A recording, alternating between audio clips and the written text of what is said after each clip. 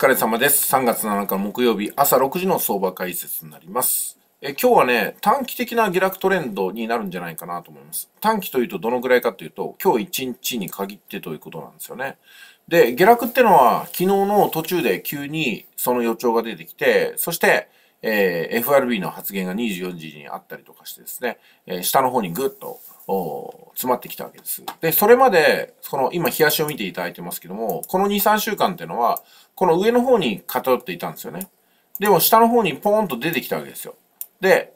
ここまでだと、下髭を出して急速に上に引き戻されるっていう流れがあったんですけども、それがどうもね、太い実線で下まで落ちてきたと。と同時に、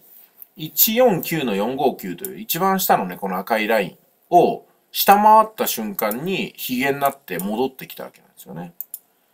この辺りに短期的っていうことの、まあ、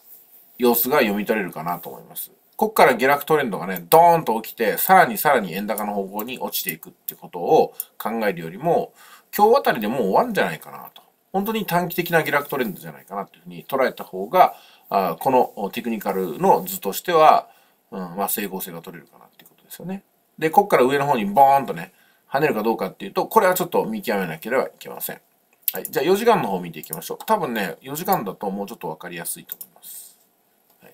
ご覧のように、ちょっと重複しますけども、ずっと上の方に偏っていた値動きが今回、ダダダダッと下の方にまでね、降りてきたわけなんですよ。そしてここで今反転して、どうなるかなってことです。今日見分けなきゃいけないのが、これがですね、反転して N 字を書いてもうちょっと下の方に行くかもしれないなっていうところ。もう一つは、反転して下落の、もう底がね、でき、出てきたんで、まあこちらのレンジの方に戻って、今日はここでドラマを描くかってことなんですよね。で、1時間を見ていくと、さらにどうでしょうか。ご覧のように、昨日は、この辺りからね、あの、二コブラクダですけども、天井ができて、で、レンジを新たに組み直そうかなと思ったら、それを突き破って、下の方に落ちていったと。あとはね、移動平均線にぶつかって下に行く。で、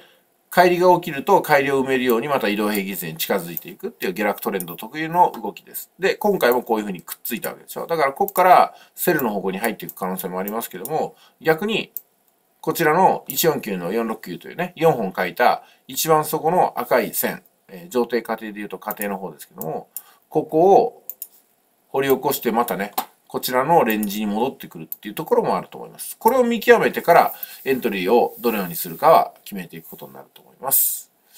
はい。そして今日はまた24時に、えーと、大きな材料ありますんでね。多分昨日の24時と同じことになると思いますけども。うん今日一日のマーケット、今日一日で処理していきましょう。明日はまた組み直した新しいマーケットになると思います。それでは本日もよろしくお願いします。